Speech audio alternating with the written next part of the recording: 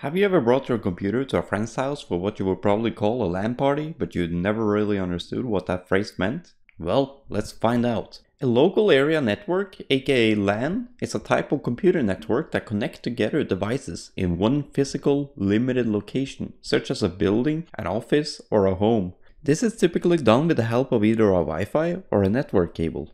A router typically assigns an IP address to each device on the network and facilitates a shared connection between all the connected devices. And this allows each device on the network to communicate with each other even if they're not connected to the wider area network, also known as WAN. Make sure you check out my video about WAN as well by the way.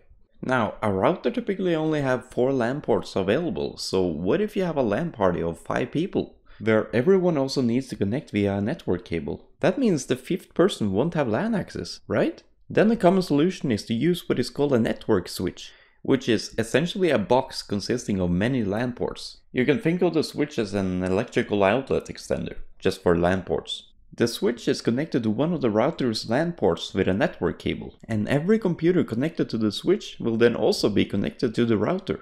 Very simple yet very crucial as well for a local area network to thrive. You can find them in pretty much every data center and areas in general where you find many computers and servers. And so with the help of a switch you can suddenly go from fitting just 4 computers to a router to be able to connect hundreds and even thousands of computers to the very same local area network.